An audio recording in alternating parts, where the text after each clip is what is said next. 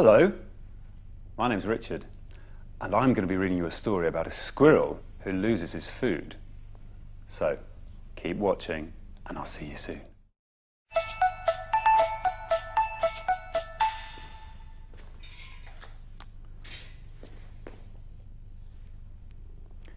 Hello, I'm Richard, and I've lost my jumper somewhere in CBeebies.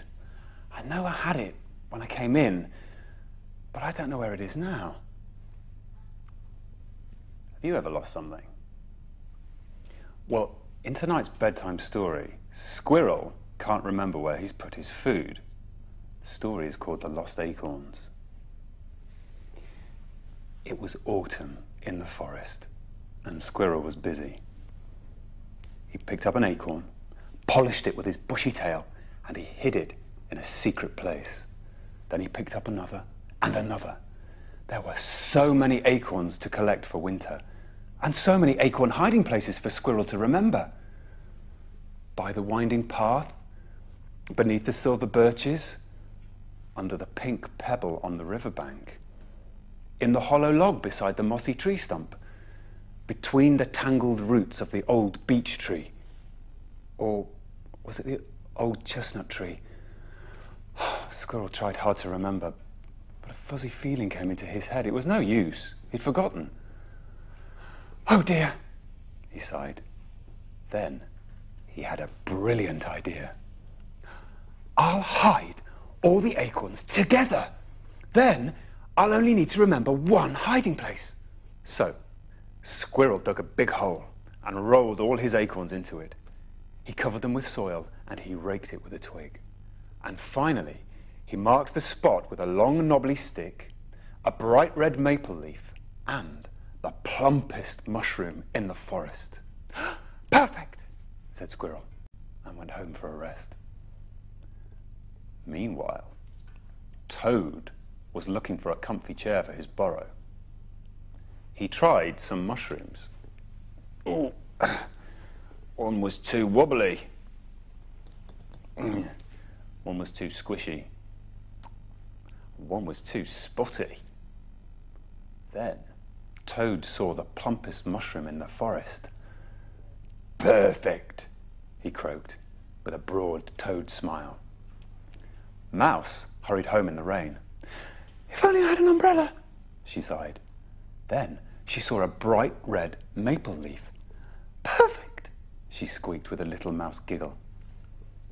Bat was in his cave, and he had a problem. These walls are far too slippery, he thought. I need something to hold on to. Then he saw a long, knobbly stick. Perfect, he grinned with a cheerful bat chuckle. A few days later, a snowflake drifted down onto Squirrel's nose. Ah, he shivered. It must be winter. Time to check on my acorn treasure. He searched and searched, but he couldn't find it anywhere. Then he had another brilliant idea.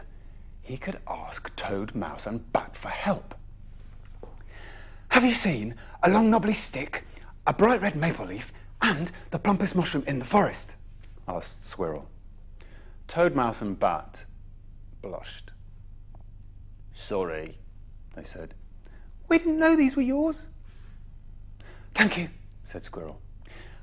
What I'm really looking for is my acorn treasure. Now, I've lost it forever, and I'll have nothing to eat all winter. Don't worry, said Toad, Mouse, and Bat. We'll help you. And so, through the long cold winter, Bat fed Squirrel upside down breakfasts. Crunchy grasshoppers with milk. Yummy, said Squirrel. Mouse invited Squirrel for lazy lunches. Baked turnip with corns and blackberries for dessert. Very nice, said Squirrel. And Toad served Squirrel scrumptious suppers. Pondweed soup and worm spaghetti. More, please, said Squirrel. Squirrel enjoyed all the delicious food his friends made for him, but sometimes he wondered what had happened to his lost acorns. At last it was spring. Toad, Mouse, and Bat came out of their houses. Where's Squirrel? they asked. They knocked on his tree, but he wasn't at home.